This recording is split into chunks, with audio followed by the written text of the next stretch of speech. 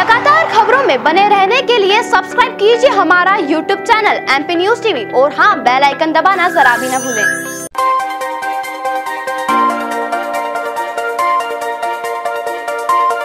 दिल्ली में बढ़ा यमुना नदी का जलस्तर, सीएम अरविंद केजरीवाल ने बुलाई आपात बैठक। गौरतलब है कि हरियाणा स्थित हथनीकुंड बैराज का पानी भारी मात्रा में रविवार शाम यमुना नदी में छोड़ा गया, जिससे दिल्ली और नोएडा में बाढ़ का खतरा बढ़ गया है।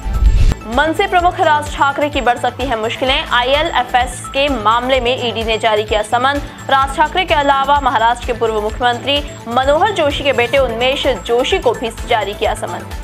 अरुण जेटली की हालत नाजुक बनी हुई है। उनका हाल जानने के लिए लालकृष्ण आडवाणी एम्स पहुँचे हैं। गौरतलब है कि पूर्व वित्त मंत्री अरुण जेटली को 9 अगस्त को सांस लेने में तकलीफ़ होने के चलते एम्स में भर्ती कराया गया था। सूत्र ये भी कह रहे हैं कि अरुण जेटली का दिल और फेफड़े ठीक से काम नहीं कर रहे हैं। वहीं उनका हाल जानने के लिए सभी बड़े नेता एम्स पहुँच रहे हैं। देश के रक्षा मंत्री राजनाथ सिंह के बयान ने पाकिस्तान के प्रधानमंत्री इमरान खान को बौखला दिया है। घबराए हुए इमरान खान अब कह रहे हैं कि दुनिया भारत के परमाणु हथियार पर नज़र रखे।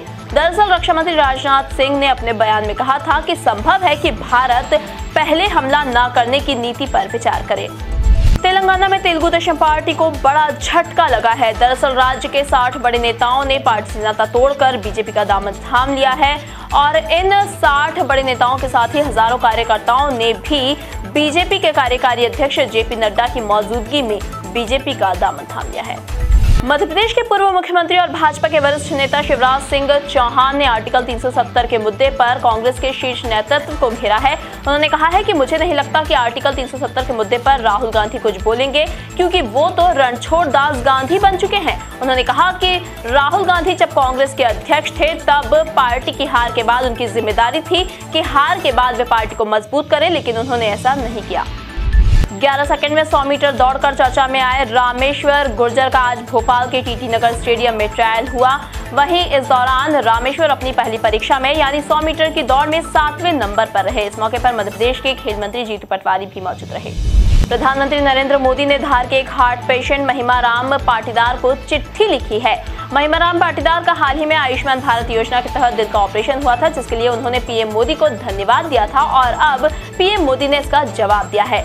प्रधानमंत्री नरेंद्र मोदी ने अपनी चिट्ठी में लिखा है कि आयुष्मान भारत योजना का लाभ मिलने पर आपको बधाई। आपके प्रेरणादायी शब्दों ने मुझे देश की सेवा करने की प्रेरणा और नई ऊर्जा दी है। मध्य प्रदेश कांग्रेस कमेटी के नए अध्यक्ष को लेकर हलचल तेज हो गई है। बाईस अगस्त के बाद नए अध्यक्ष के नाम की घोषणा की जाएगी।